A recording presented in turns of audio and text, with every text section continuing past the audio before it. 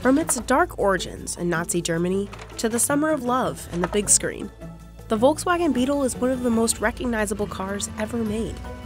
In its 81 year run, the quirky car sold over 23 million units and left trademarks on 91 countries worldwide. But in 2019, Volkswagen officially produced its last Beetle. So, how did this tiny German car take over the world? And has it really met its end?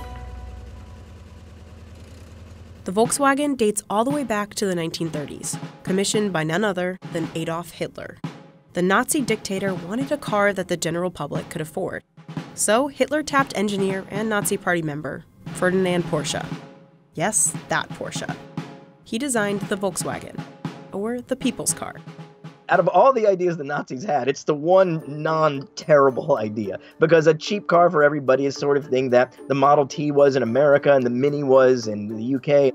The Volkswagen Type 1 was a two door car with an air cooled engine in the back. Production began in Wolfsburg, Germany in 1938. But when World War II started, manufacturing for the general public stopped. The only Volkswagens made at the time were for military officials. Hitler himself drove a convertible version, after the war, the British took over the factory, and within the first year, they'd produced 10,000 Beetles. Because it filled the demand for cheap and practical cars across war torn Europe. Plus, it was good on gas, which was still expensive and in short supply in a lot of places. Part of the reason it's got such a curved design is to minimize the amount of sheet metal that it uses. So it was a resource efficient design, relatively. It took a lot of human power to build them, but that was actually a good thing at the time because they wanted to give people jobs.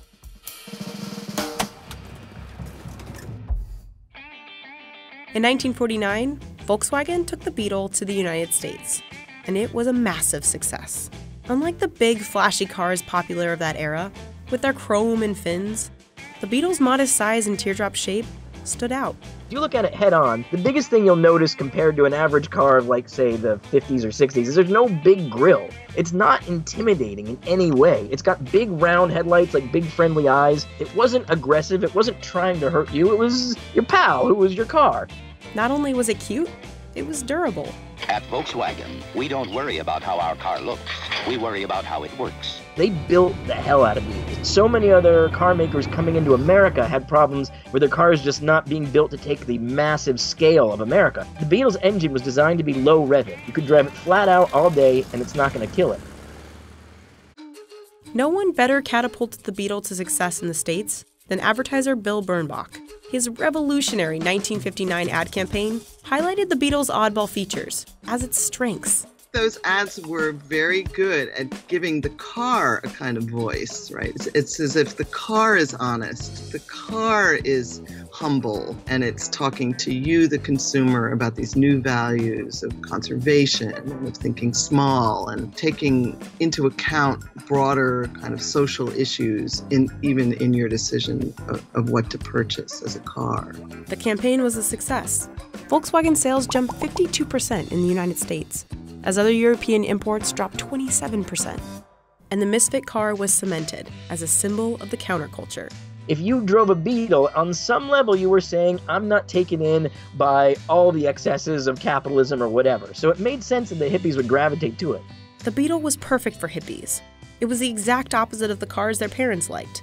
Plus, it was easy to maintain, and it could last on those long California road trips. America was changing from what did the government tell me, what is the truth, what do I believe in as a person, and the Beetle just threw a dart right into that place and magic. Not to mention it was cheap. A new Volkswagen Beetle in 1967 came in at $1,600, about 12 grand in today's money. A Ford Mustang would have cost you about $2,700, or about $20,600 today. It was an honest, straightforward proposal. It had a great price, it didn't overpromise anything. It promised exactly what it was capable of doing. And that's why it caught on. And then Hollywood stepped in, introducing Herbie the Love Bug in 1968. A mind of his own makes Herbie the soul bug of the love generation. The anthropomorphic beetle with a big personality would go on to star in five movie spin offs. That same year, VW Beetle sales in the US hit an all time peak with 423,000 cars sold. By 1972, the 15 millionth Beetle rolled off the manufacturing line, breaking the Ford Model T's 40 year standing record for the best selling car in the world.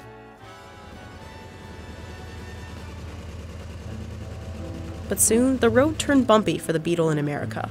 In the 1980s, the car couldn't keep up with competition from newly introduced Japanese vehicles. But as sales slipped in the US, the VW Beetle found success abroad. So in America, it was pretty much dead, you know, for new cars by like the 80s. But then in Mexico and Brazil and South Africa and other countries, it was still going strong. Every time you thought the Beetle was dead somewhere, it would pop up somewhere else and just kind of keep on going. But VW wasn't ready to give up on America just yet. In 1998, VW did what they'd never done before. They introduced a completely new Beetle model. It was called the New Beetle, but technically, they more closely resembled the VW Golf. It was sort of a return to fun in consumer design when things had been kind of beige and rectilinear and straightforward for so long. It definitely made people give a damn about Volkswagen again. With fuzzy steering wheels and candy colors, the car was a nostalgic throwback. And it worked. Kind of. When you bring it back now 30, 40-ish years later, obviously a lot of competition. We were getting 100,000 units versus getting, you know, 400, 450,000 units back in the 60s. So clearly the market had changed, but it was the it was the right call because honestly it put a shot in the arm for the entire brand. And then in 2015, Dieselgate happened. The scandal revealed Volkswagen had cheated on emission tests on their diesel models, including the Beetle. The company paid over $30 billion to settle the case in 2018. Did it have an impact?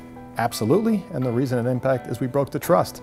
And if you look at what the singular thing the Beetle was so fantastic at, trust, it took millions and millions of families to school across America, to Woodstock, on and on. And the fact that this fiasco broke that trust is absolutely the most unsettling thing. And the Beetle's final lap was not far behind. By 2018, the Beetle made up just 4% of VW sales. Even with a worldwide fandom and iconic status, the Beetle just wasn't selling new units anymore. In 2018, Volkswagen announced it was ending production of its storied car. Why the decision is made to, you know, say bye-bye Beetle and to end the Beetle is frankly the market has changed dramatically. Small cars struggle. It's an SUV marketplace. The final 2019 Beetle rolled off the line in Puebla, Mexico in July 2019. After eight decades, worldwide success, and arguably legendary status, has the Volkswagen Beetle really hit the end of the road? I don't really buy it. I kind of believe we're going to see another version of the Beetle down the road, and it's probably going to be an MEB electric Beetle at some point. Because they'd be they'd be crazy not to. Why wouldn't they do it? Is this really the end of the Beetle? you know, with the Beetle, never say never. Uh, it's not in our product portfolio. It's not in our plans. We're certainly going to keep its, you know, soul alive, uh, as I referenced. But uh, the MEB is a phenomenal platform. We've shown a buggy off of that. We've shown a bus off of that. We've shown an SUV off of that. Never say never.